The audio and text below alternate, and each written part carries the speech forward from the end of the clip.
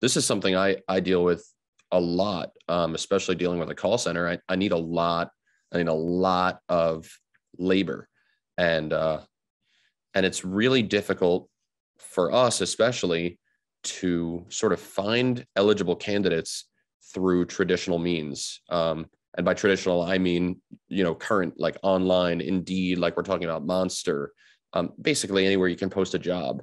Uh, so, is there any anywhere else that field and home service business owners should be looking to find potential workers um, that you've seen have more success than than what we've been trying?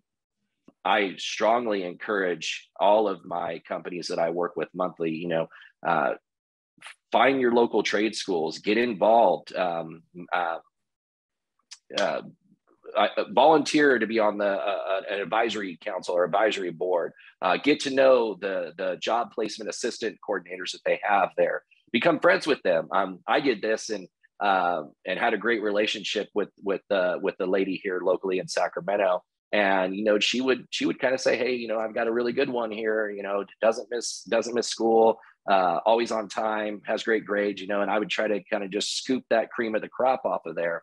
Um, beyond that, uh, other companies uh, that I work with are, you know, doing whatever they can to work with the local high schools too, uh, whether it's career days or little expos or just asking, hey, could we could we do some sort of a, uh, an expo or you know have a table at lunch where we talk to talk to you know the juniors and the seniors and things like that. I mean, it's it's it's are we going to be passive or are we going to take a proactive approach here? Who wants it more? Who's going to go out and get it?